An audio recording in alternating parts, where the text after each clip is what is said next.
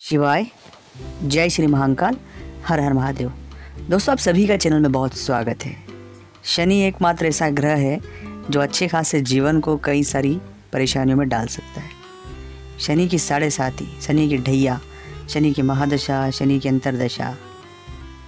ये सभी चीज़ें व्यक्ति के जीवन में इस तरह की नकारात्मकता भर देते हैं कि व्यक्ति चाह कर भी चीज़ों से बाहर नहीं निकल पाता ऐसे लोग मिलेंगे जो गलत राय देंगे, ऐसी चीज़ें होंगी तो सब कुछ गलत गलत होती जाएगी। हम एक ऐसे गहरे में, एक ऐसे ब्लैंक जोन में फंस जाएँगे कि जहाँ से हम चाह कर भी नहीं निकल पाएँगे। करियर में हो या जीवन के किसी भी पहलू पर, अगर शनि का प्रकोप किसी भी व्यक्ति के जीवन पर है तो कई सारी परेशानियाँ उसे झेलना पड़ती है। लेकिन ये विषय कोई डराने का नहीं है और ये वीडियो बनाने का मकसद आपको डराना नहीं है।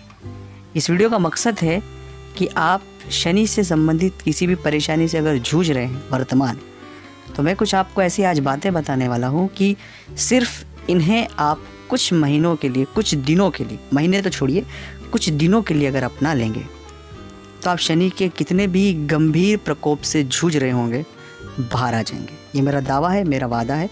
बस सिर्फ़ शर्त ये है, जो चीज़ें बता रहा हूँ, उन्हें अपने जीवन में आप बहुत शांति से अपना लें, आपको बहुत बहुत फ़ायदा होगा। अगर अभी तक चैनल को सब्सक्राइब नहीं किया है तो प्लीज़ सब्सक्राइब कर लें। कमेंट्स में लिखे भोलेनाथ का नाम और एक निवेदन है कि अगर शनि के प्रकोप से आप वाकई में जूझ रहे हैं तो एक बार अपनी कुंडली का विश्लेषण ज़रूर करवाएँ। अगर आप हमसे करवाना चाहते हैं तो स्क्रीन पर नंबर चल रहे आप व्हाट्सएप पर अपॉइंटमेंट लेकर हमसे बात कर सकते हैं। उसका फ़ीस शुल्क लागू है। दूसरी बात कि अब करना क्या है? सबसे पहला है, आप नियमित मंगलवार का उपास करना शुरू करें। मंगलवार को उपास इसलिए क्योंकि बजरंग बली की उपासना करने से शनि के कई सारे प्रकोपों से आप बाहर निकल जाएँगे। बजरंग बली महाराज जी को शनि ने वादा किया है कि जो आपकी उपासना करेगा, मैं उनके किसी भी जातक को परेशान नहीं करूँगा। दूसरा, आप खुद से झूठ ना बोले सेल्फ ऑब्जर्वेशन करें और खुद से कोई भी झूठ ना बोले।